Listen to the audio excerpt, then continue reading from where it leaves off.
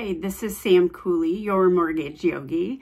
Um, happy week after Veterans Day. I just thought it would be kind of appropriate to discuss uh, VA loans and some things that happen with VA loans that are unique um, and that are also dispellers of the myths that come along with VA loans and VA offers for homes for sale.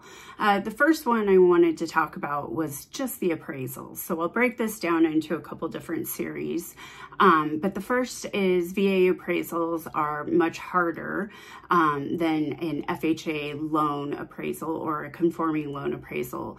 This is actually not true. There are standards called health and safety um, or minimum property requirements, uh, which are set forth by the FHA, by the Federal Housing Authority. And those standards are what are followed for VA mortgages FHA loans, and in some instances on conforming loans. So there's certain things that if the house is inhabitable, you're not going to get financing for any type of mortgage.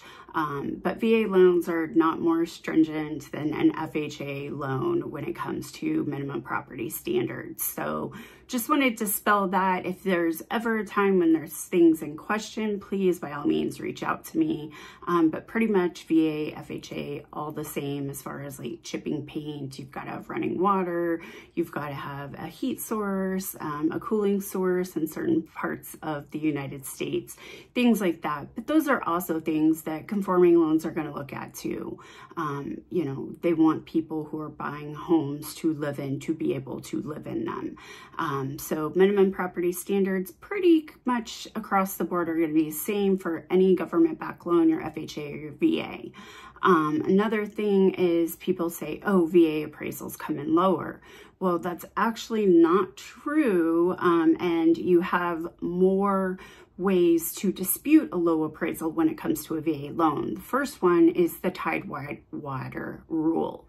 So if an appraiser, before he goes out to a property, believes that he is having problems meeting uh, the sales price, he will call not only the listing agent, but the buyer's agent, and also give them time to provide him with comps and reasons why the value is what it is.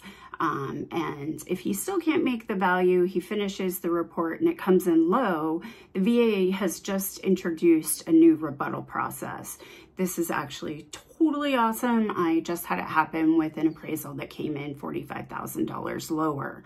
Um, in working with the buyer's agent, the listing agent, and my veteran buyer, we were able to provide the veteran buyer with comps and reasons why the property was worth the sales price, not what the appraised value was. Um, and the reason I mentioned the VA buyer is because the veteran has to write a letter to the VA explaining why he believed that the property he was buying was worth what he was paying for it and why the appraiser was incorrect. Um, in this instance, um, we had two real estate agents that were local to a small rural area in Colorado.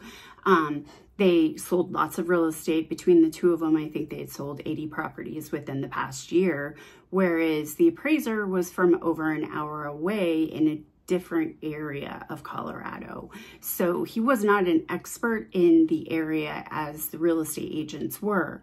With the veteran um, providing comps and also stats on both the realtors and the reasons why they were experts, we actually were able to get the VA to um, accept the sales price as the value and they change the appraisal value to meet our sales price. So um, next time you get an offer coming through and it's for a VA buyer, know that the appraisal isn't really an issue. Um, you actually have more um, ability to communicate with the appraiser, provide justification for the value if it still comes in low. The VA is open to um, rebutting that and having one of their staff appraisers review everything and you could actually get the value changed.